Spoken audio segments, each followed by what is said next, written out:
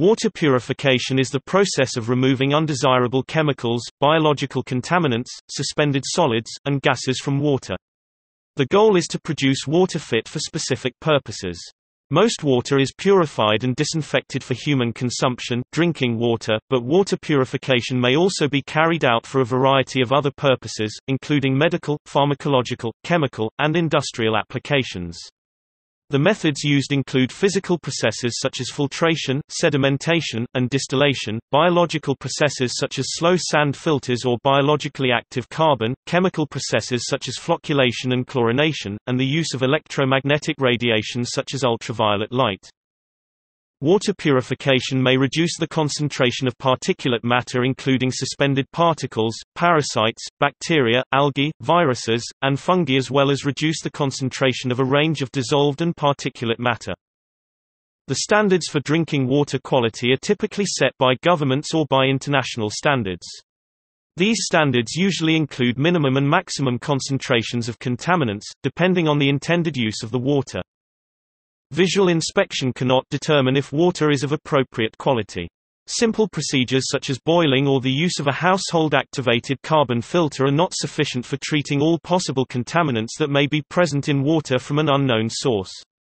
Even natural spring water, considered safe for all practical purposes in the 19th century, must now be tested before determining what kind of treatment, if any, is needed.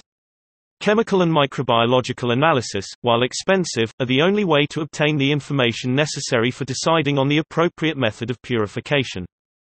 According to a 2007 World Health Organization WHO report, 1.1 billion people lack access to an improved drinking water supply. 88% of the 4 billion annual cases of diarrheal disease are attributed to unsafe water and inadequate sanitation and hygiene, while 1.8 million people die from diarrheal disease each year. The WHO estimates that 94% of these diarrheal disease cases are preventable through modifications to the environment, including access to safe water. Simple techniques for treating water at home, such as chlorination, filters, and solar disinfection, and for storing it in safe containers could save a huge number of lives each year. Reducing deaths from waterborne diseases is a major public health goal in developing countries.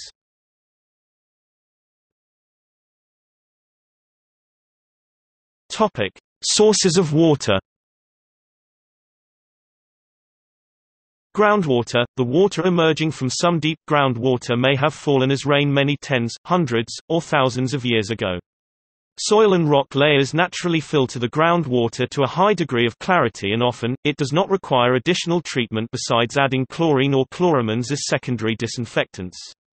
Such water may emerge as springs, artesian springs, or may be extracted from boreholes or wells. Deep groundwater is generally of very high bacteriological quality i.e., pathogenic bacteria or the pathogenic protozoa are typically absent, but the water may be rich in dissolved solids, especially carbonates and sulfates of calcium and magnesium. Depending on the strata through which the water has flowed, other ions may also be present including chloride, and bicarbonate. There may be a requirement to reduce the iron or manganese content of this water to make it acceptable for drinking, cooking, and laundry use. Primary disinfection may also be required. Where groundwater recharge is practiced a process in which river water is injected into an aquifer to store the water in times of plenty so that it is available in times of drought, the groundwater may require additional treatment depending on applicable state and federal regulations. Upland lakes and reservoirs, typically located in the headwaters of river systems, upland reservoirs are usually sited above any human habitation and may be surrounded by a protective zone to restrict the opportunities for contamination. Bacteria and pathogen levels are usually low, but some bacteria, protozoa or algae will be present. Where uplands are forested or peaty, humic acids can color the water.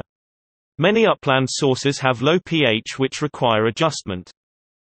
Rivers, canals and low-land reservoirs, low-land surface waters will have a significant bacterial load and may also contain algae, suspended solids and a variety of dissolved constituents. Atmospheric water generation is a new technology that can provide high-quality drinking water by extracting water from the air by cooling the air and thus condensing water vapor.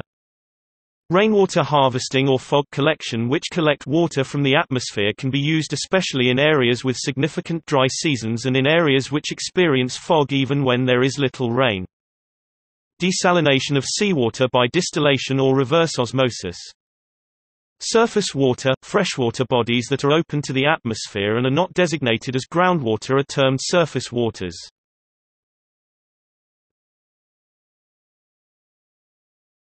Topic: Treatment.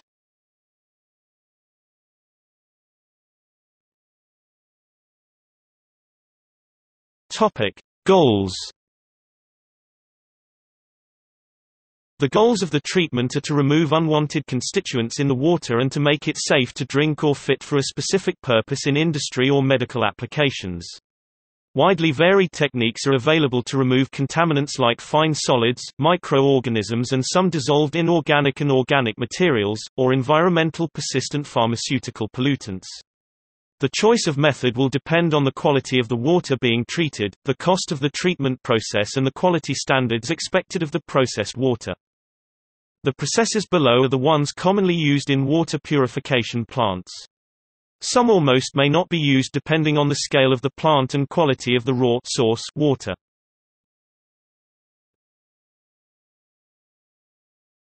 Topic: Pre-treatment. Pumping and containment – The majority of water must be pumped from its source or directed into pipes or holding tanks. To avoid adding contaminants to the water, this physical infrastructure must be made from appropriate materials and constructed so that accidental contamination does not occur. Screening see also screen filter The first step in purifying surface water is to remove large debris such as sticks, leaves, rubbish and other large particles which may interfere with subsequent purification steps. Most deep groundwater does not need screening before other purification steps. Storage – Water from rivers may also be stored in bankside reservoirs for periods between a few days and many months to allow natural biological purification to take place. This is especially important if treatment is by slow sand filters. Storage reservoirs also provide a buffer against short periods of drought or to allow water supply to be maintained during transitory pollution incidents in the source river. Pre-chlorination – In many plants the incoming water was chlorinated to minimize the growth of fouling organisms on the pipework and tanks. Because of the potential adverse quality effects see chlorine below, this has largely been discontinued.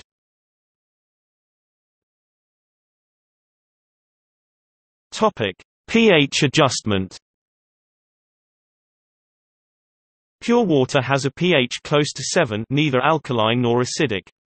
Seawater can have pH values that range from 7.5 to 8.4 moderately alkaline. Fresh water can have widely ranging pH values depending on the geology of the drainage basin or aquifer and the influence of contaminant inputs acid rain. If the water is acidic lower than 7, lime, soda ash, or sodium hydroxide can be added to raise the pH during water purification processes. Lime addition increases the calcium ion concentration, thus raising the water hardness. For highly acidic waters, forced draft degasifiers can be an effective way to raise the pH, by stripping dissolved carbon dioxide from the water.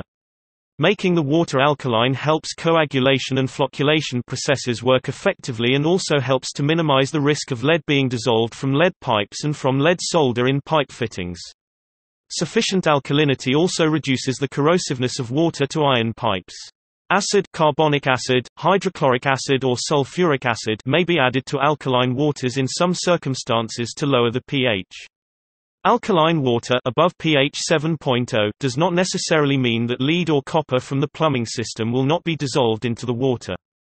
The ability of water to precipitate calcium carbonate to protect metal surfaces and reduce the likelihood of toxic metals being dissolved in water is a function of pH, mineral content, temperature, alkalinity and calcium concentration.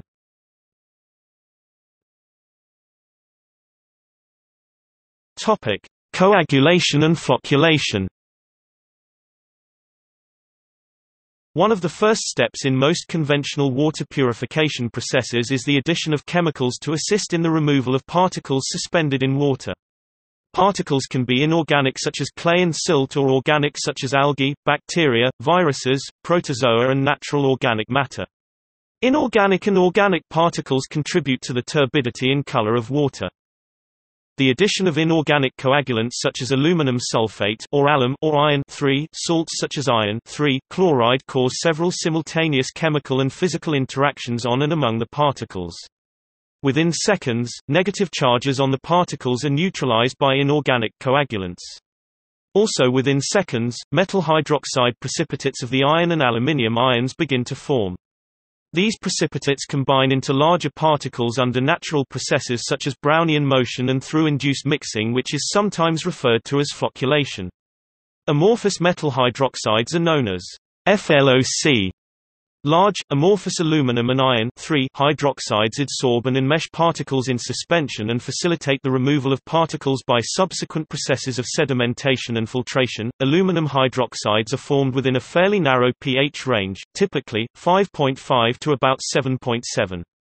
Iron hydroxides can form over a larger pH range including pH levels lower than are effective for alum, typically 5.0 to 8.5. In the literature, there is much debate and confusion over the usage of the terms coagulation and flocculation. Where does coagulation end and flocculation begin? In water purification plants, there is usually a high-energy, rapid mix unit process detention time in seconds whereby the coagulant chemicals are added followed by flocculation basins detention times range from 15 to 45 minutes where low-energy inputs turn large paddles or other gentle mixing devices to enhance the formation of FLOC. In fact, coagulation and flocculation processes are ongoing once the metal salt coagulants are added. Organic polymers were developed in the 1960s as aids to coagulants and, in some cases, as replacements for the inorganic metal salt coagulants. Synthetic organic polymers are high molecular weight compounds that carry negative, positive or neutral charges. When organic polymers are added to water with particulates, the high molecular weight compounds adsorb onto particle surfaces and through interparticle bridging coalesce with other particles to form FLOC. Polydadmac is a popular cationic positively charged organic polymer used in water purification plants.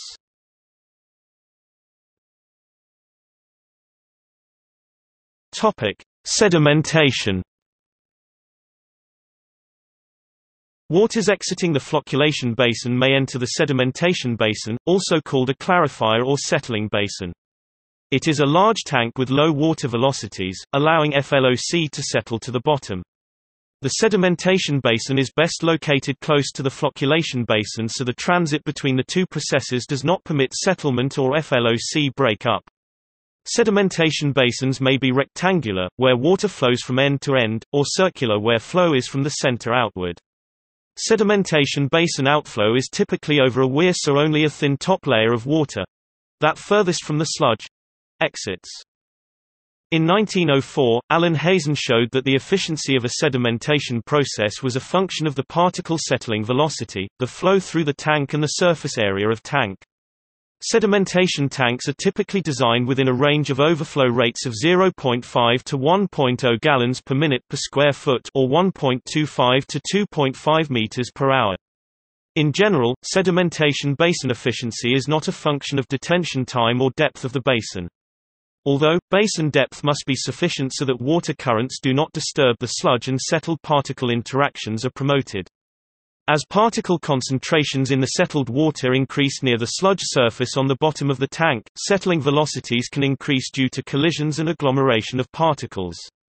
Typical detention times for sedimentation vary from 1.5 to 4 hours and basin depths vary from 10 to 15 feet 3 to 4.5 meters. Inclined flat plates or tubes can be added to traditional sedimentation basins to improve particle removal performance.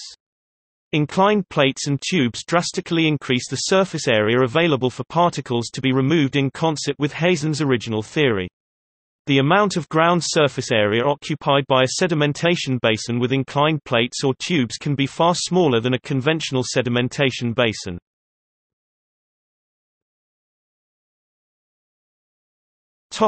Sludge storage and removal. As particles settle to the bottom of a sedimentation basin, a layer of sludge is formed on the floor of the tank which must be removed and treated. The amount of sludge generated is significant, often 3 to 5% of the total volume of water to be treated. The cost of treating and disposing of the sludge can impact the operating cost of a water treatment plant. The sedimentation basin may be equipped with mechanical cleaning devices that continually clean its bottom, or the basin can be periodically taken out of service and cleaned manually.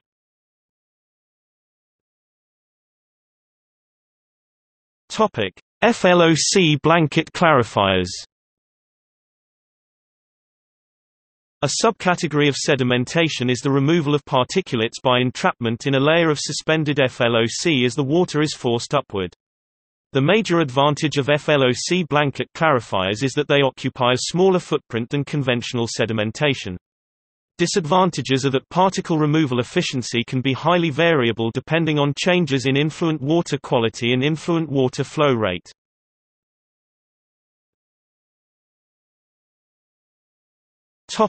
Dissolved air flotation. When particles to be removed do not settle out of solution easily, dissolved air flotation is often used. After coagulation and flocculation processes, water flows to DAF tanks where air diffusers on the tank bottom create fine bubbles that attach to FLOC resulting in a floating mass of concentrated FLOC. The floating FLOC blanket is removed from the surface and clarified water is withdrawn from the bottom of the DAF tank. Water supplies that are particularly vulnerable to unicellular algae blooms and supplies with low turbidity and high color often employ DAF.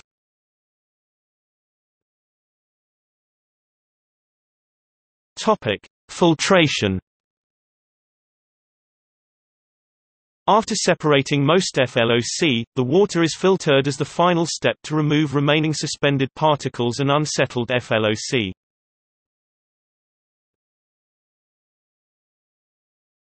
Topic: Rapid sand filters.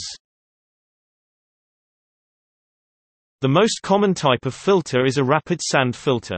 Water moves vertically through sand which often has a layer of activated carbon or anthracite coal above the sand.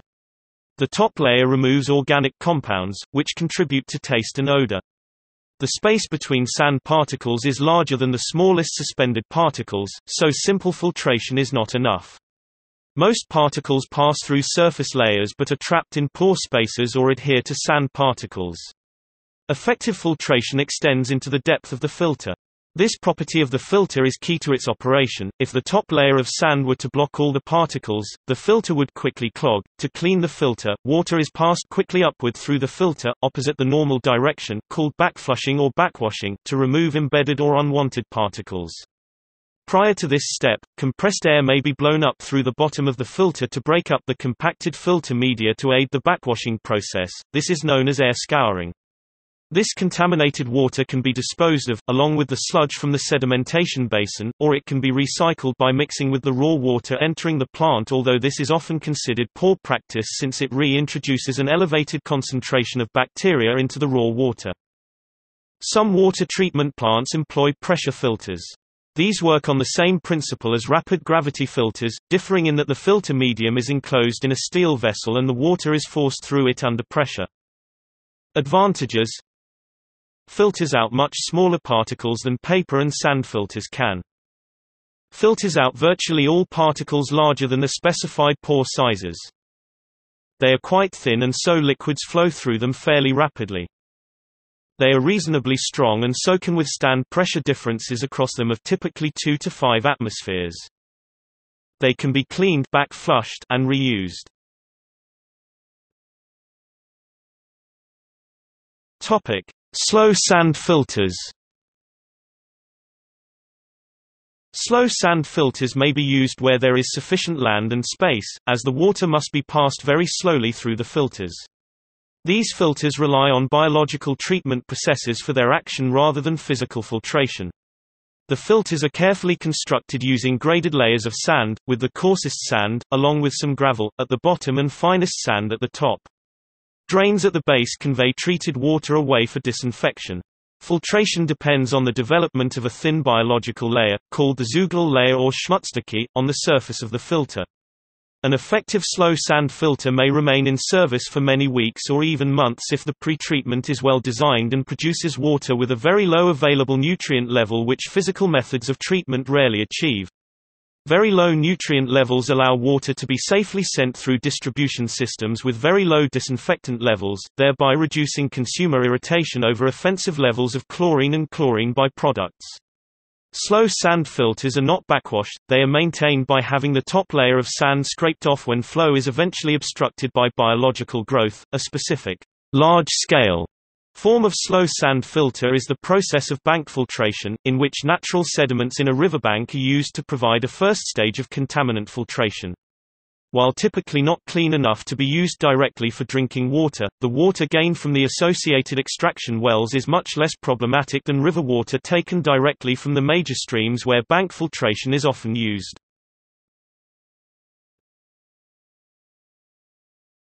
Topic: Membrane filtration. Membrane filters are widely used for filtering both drinking water and sewage. For drinking water, membrane filters can remove virtually all particles larger than 0.2 micrometers including giardia and cryptosporidium. Membrane filters are an effective form of tertiary treatment when it is desired to reuse the water for industry, for limited domestic purposes, or before discharging the water into a river that is used by towns further downstream. They are widely used in industry, particularly for beverage preparation including bottled water. However no filtration can remove substances that are actually dissolved in the water such as phosphates, nitrates and heavy metal ions.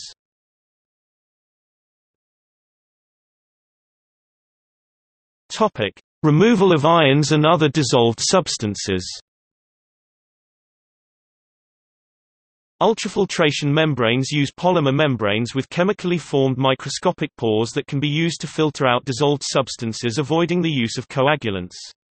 The type of membrane media determines how much pressure is needed to drive the water through and what sizes of microorganisms can be filtered out. Ion exchange Ion exchange systems use ion exchange resin or zeolite packed columns to replace unwanted ions.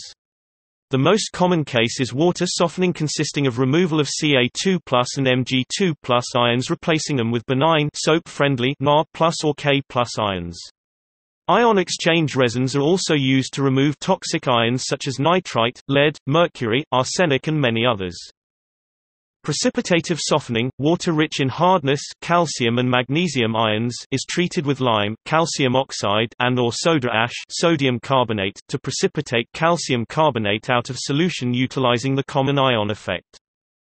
Electrodeionization, water is passed between a positive electrode and a negative electrode. Ion exchange membranes allow only positive ions to migrate from the treated water toward the negative electrode and only negative ions toward the positive electrode. High-purity deionized water is produced continuously, similar to ion exchange treatment. Complete removal of ions from water is possible if the right conditions are met. The water is normally pre-treated with a reverse osmosis unit to remove non-ionic organic contaminants, and with gas transfer membranes to remove carbon dioxide. A water recovery of 99% is possible if the concentrate stream is fed to the row inlet.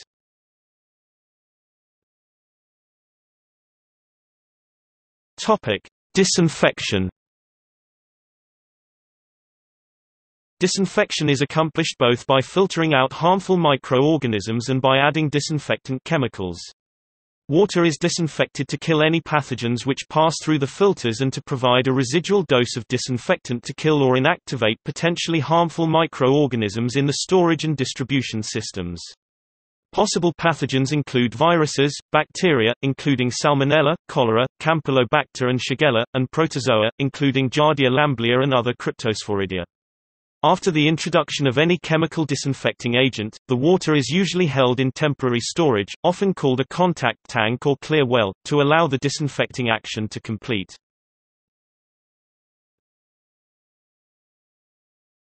Topic: Chlorine disinfection. The most common disinfection method involves some form of chlorine or its compounds such as chloramine or chlorine dioxide. Chlorine is a strong oxidant that rapidly kills many harmful microorganisms. Because chlorine is a toxic gas, there is a danger of a release associated with its use. This problem is avoided by the use of sodium hypochlorite, which is a relatively inexpensive solution used in household bleach that releases free chlorine when dissolved in water. Chlorine solutions can be generated on site by electrolyzing common salt solutions. A solid form, calcium hypochlorite, releases chlorine on contact with water.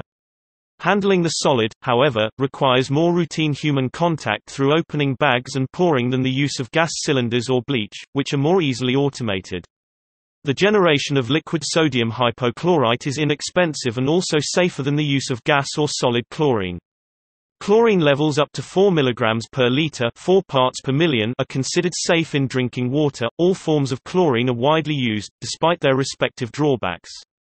One drawback is that chlorine from any source reacts with natural organic compounds in the water to form potentially harmful chemical byproducts. These byproducts, trihalomethanes THMs and haloacetic acids HAS, are both carcinogenic in large quantities and are regulated by the United States Environmental Protection Agency EPA and the Drinking Water Inspectorate in the UK. The formation of THMs and haloacetic acids may be minimized by effective removal of as many organics from the water as possible prior to chlorine addition. Although chlorine is effective in killing bacteria, it has limited effectiveness against pathogenic protozoa that form cysts in water such as Giardia lamblia and Cryptosporidium.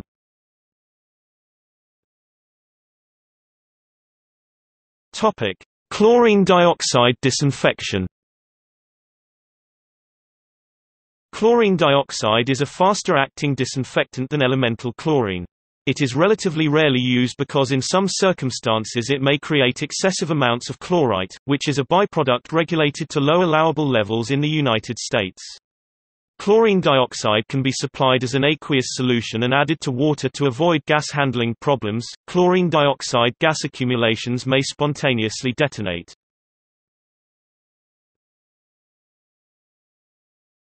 Topic: Chloramination. The use of chloramine is becoming more common as a disinfectant. Although chloramine is not as strong an oxidant, it provides a longer-lasting residual than free chlorine because of its lower redox potential compared to free chlorine. It also does not readily form THMs or haloacetic acids disinfection byproducts. It is possible to convert chlorine to chloramine by adding ammonia to the water after adding chlorine. The chlorine and ammonia react to form chloramine. Water distribution systems disinfected with chloramines may experience nitrification, as ammonia is a nutrient for bacterial growth, with nitrates being generated as a byproduct.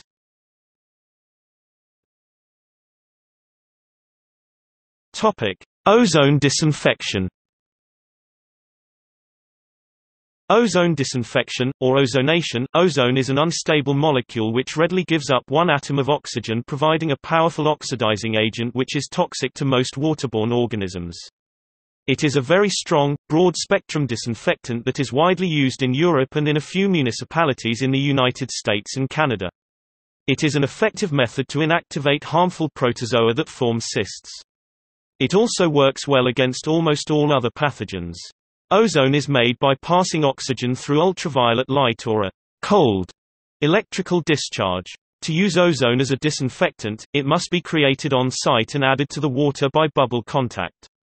Some of the advantages of ozone include the production of fewer dangerous byproducts and the absence of taste and odor problems in comparison to chlorination. No residual ozone is left in the water. In the absence of a residual disinfectant in the water, chlorine or chloramine may be added throughout a distribution system to remove any potential pathogens in the distribution piping.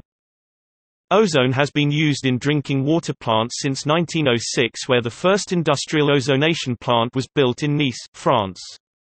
The U.S. Food and Drug Administration has accepted ozone as being safe, and it is applied as an antimicrobiological agent for the treatment, storage, and processing of foods.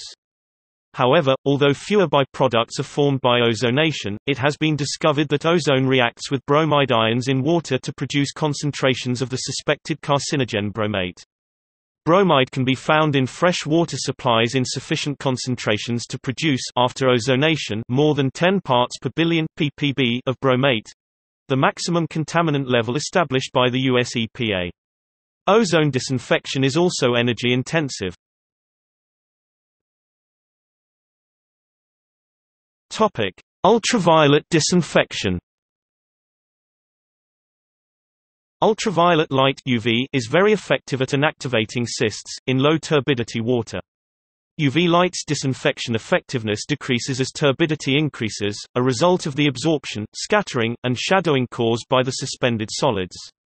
The main disadvantage to the use of UV radiation is that, like ozone treatment, it leaves no residual disinfectant in the water, therefore, it is sometimes necessary to add a residual disinfectant after the primary disinfection process.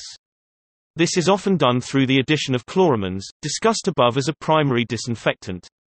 When used in this manner, chloramines provide an effective residual disinfectant with very few of the negative effects of chlorination. Over 2 million people in 28 developing countries use solar disinfection for daily drinking water treatment.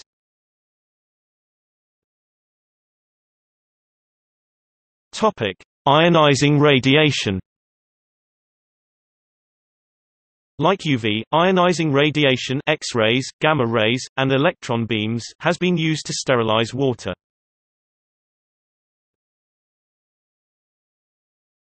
Topic: Bromination and iodinization. Bromine and iodine can also be used as disinfectants. However, chlorine in water is over three times more effective as a disinfectant against Escherichia coli than an equivalent concentration of bromine, and over six times more effective than an equivalent concentration of iodine. Iodine is commonly used for portable water purification, and bromine is common as a swimming pool disinfectant.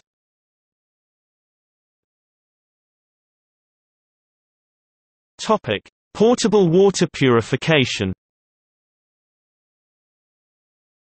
Potable water purification devices and methods are available for disinfection and treatment in emergencies or in remote locations. Disinfection is the primary goal, since aesthetic considerations such as taste, odor, appearance, and trace chemical contamination do not affect the short-term safety of drinking water.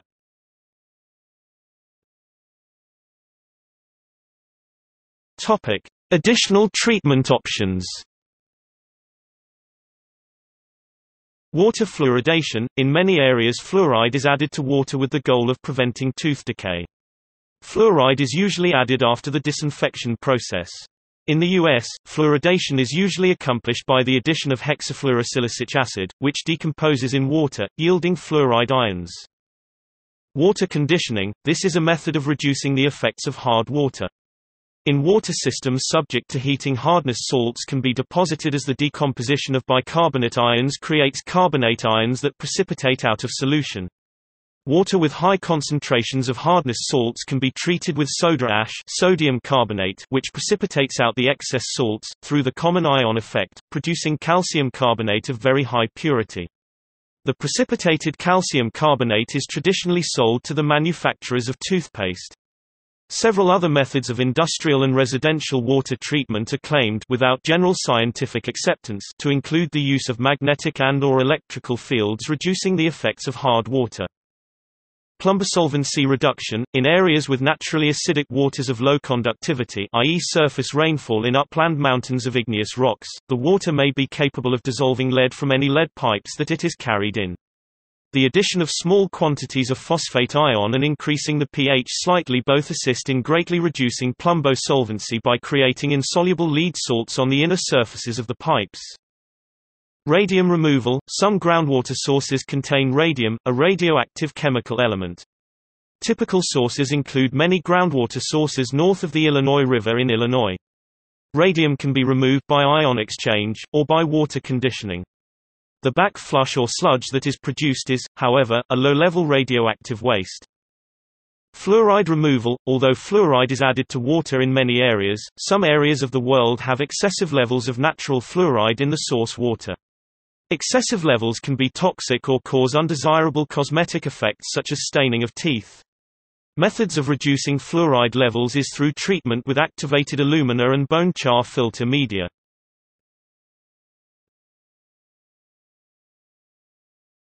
Topic: Other water purification techniques. Other popular methods for purifying water, especially for local private supplies are listed below. In some countries some of these methods are also used for large-scale municipal supplies. Particularly important are distillation, desalination of seawater, and reverse osmosis. Boiling, bringing water to its boiling point about 100 degrees Celsius or 212 F at sea level, is the oldest and most effective way since it eliminates most microbes causing intestine-related diseases, but it cannot remove chemical toxins or impurities. For human health, complete sterilization of water is not required, since the heat-resistant microbes are not intestine-affecting. The traditional advice of boiling water for 10 minutes is mainly for additional safety, since microbes start getting eliminated at temperatures greater than 60 degrees Celsius 140 degrees Fahrenheit. Though the boiling point decreases with increasing altitude, it is not enough to affect the disinfecting process. In areas where the water is hard, that is, containing significant dissolved calcium salts, boiling decomposes the bicarbonate ions, resulting in partial precipitation as calcium carbonate. This is the fur that builds up on kettle elements, etc., in hard water areas. With the exception of calcium, boiling does not remove solutes of higher boiling point than water and in fact increases their concentration, due to some water being lost as vapor. Boiling does not leave a residual disinfectant in the water. Therefore, water that is boiled and then stored for any length of time may acquire new pathogens. Granular activated carbon adsorption, a form of activated carbon with a high surface area, adsorbs many compounds including many toxic compounds. Water passing through activated carbon is commonly used in municipal regions with organic contamination, taste or odors. Many household water filters and fish tanks use activated carbon filters to further purify the water. Household filters for drinking water sometimes contain silver as metallic silver nanoparticle. If water is held in the carbon block for longer periods, microorganisms can grow inside which results in fouling and contamination. Silver nanoparticles are excellent antibacterial material and they can decompose toxic halo organic compounds such as pesticides into non-toxic organic products. Filtered water must be used soon after it is filtered, as the low amount of remaining microbes may proliferate over time. In general, these home filters remove over 90% of the chlorine available to a glass of treated water. These filters must be periodically replaced otherwise the bacterial content of the water may actually increase due to the growth of bacteria within the filter unit. Distillation involves boiling the water to produce water vapor. The vapor contacts a cool surface where it condenses as a liquid. Because the solutes are not normally vaporized, they remain in the boiling solution. Even distillation does not completely purify water, because of contaminants with similar boiling points and droplets of unvaporized liquid carried with the steam. However, 99.9% pure water can be obtained by distillation. Reverse osmosis, mechanical pressure is applied to an impure solution to force pure water through a semi-permeable membrane. Reverse osmosis is theoretically the most thorough method of large-scale water purification available, although perfect semi-permeable membranes are difficult to create. Unless membranes are well maintained, algae and other life forms can colonize the membranes. The use of iron in removing arsenic from water. See arsenic contamination of groundwater. Direct contact membrane distillation DCMD. Applicable to desalination. Heated seawater is passed along the surface of a hydrophobic polymer membrane. Evaporated water passes from the hot side through pores in the membrane into a stream of cold pure water on the other side. The difference in vapor pressure between the hot and cold side helps to push water molecules through. Desalination, is a process by which saline water, generally seawater is converted to fresh water. The most common desalination processes are distillation and reverse osmosis. Desalination is currently expensive compared to most alternative sources of water, and only a very small fraction of total human use is satisfied by desalination. It is only economically practical for high-valued uses such as household and industrial uses in arid areas. Gas hydrate crystals centrifuge method if carbon dioxide or other low molecular weight gas is mixed with contaminated water at high pressure and low temperature, gas hydrate crystals will form exothermically. Separation of the crystalline hydrate may be performed by centrifuge or sedimentation and decanting.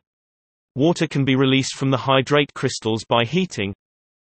In situ chemical oxidation, a form of advanced oxidation processes and advanced oxidation technology, is an environmental remediation technique used for soil and or groundwater remediation to reduce the concentrations of targeted environmental contaminants to acceptable levels.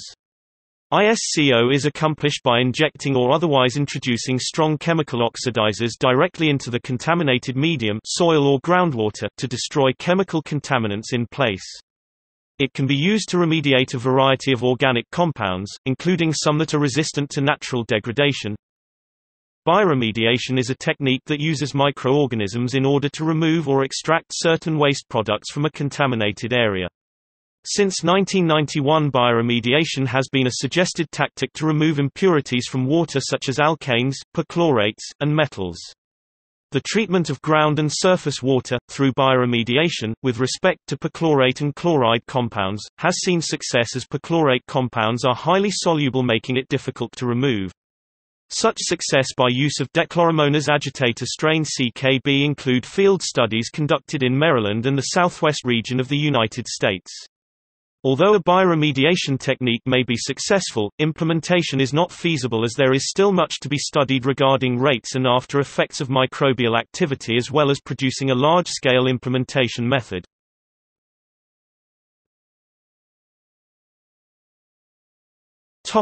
Safety and controversies In April, 2007, the water supply of Spencer, Massachusetts became contaminated with excess sodium hydroxide when its treatment equipment malfunctioned. Many municipalities have moved from free chlorine to chloramine as a disinfection agent. However, chloramine appears to be a corrosive agent in some water systems. Chloramine can dissolve the protective film inside older service lines, leading to the leaching of lead into residential spigots. This can result in harmful exposure, including elevated blood lead levels. Lead is a known neurotoxin.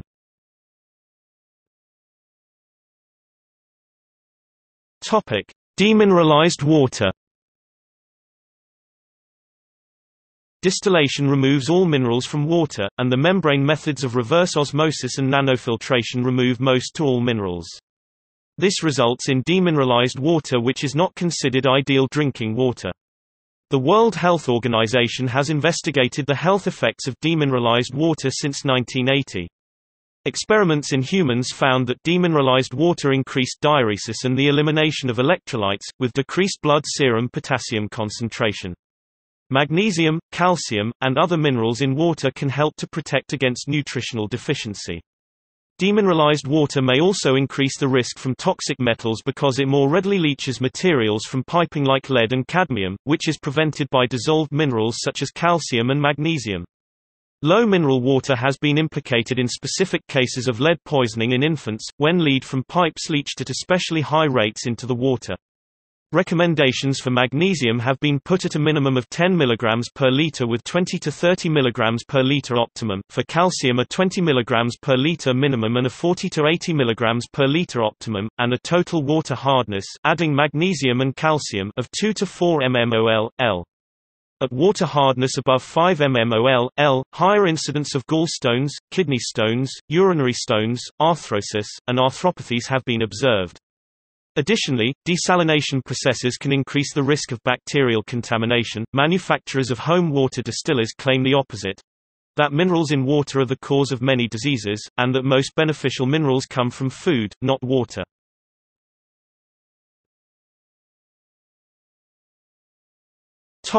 History The first experiments into water filtration were made in the 17th century. Sir Francis Bacon attempted to desalinate seawater by passing the flow through a sand filter. Although his experiment did not succeed, it marked the beginning of a new interest in the field. The fathers of microscopy, Antony van Leeuwenhoek and Robert Hooke, used the newly invented microscope to observe for the first time small material particles that lay suspended in the water, laying the groundwork for the future understanding of waterborne pathogens.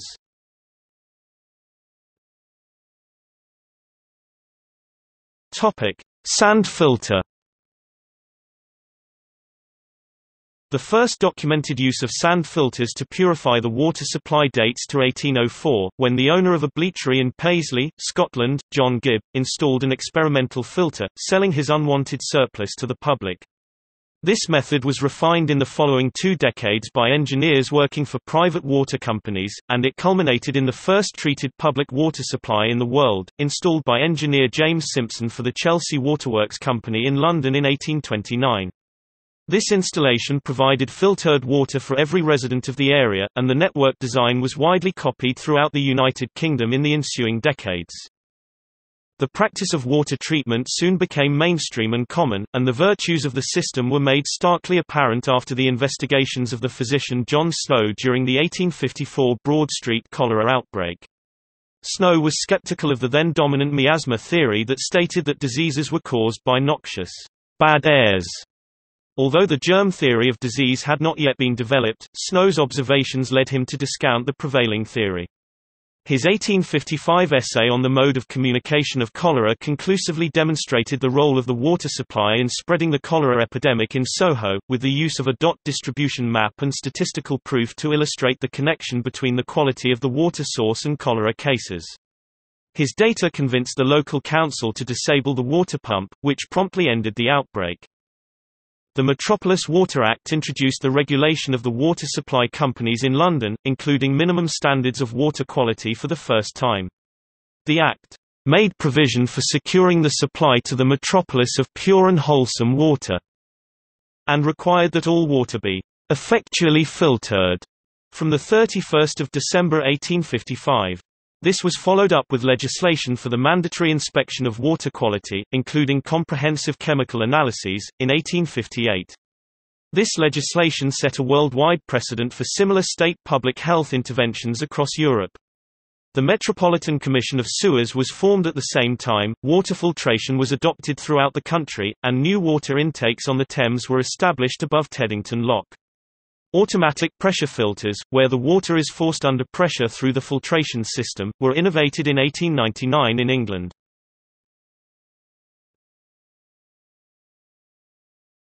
Topic: Water chlorination. John Snow was the first to successfully use chlorine to disinfect the water supply in Soho that had helped spread the cholera outbreak.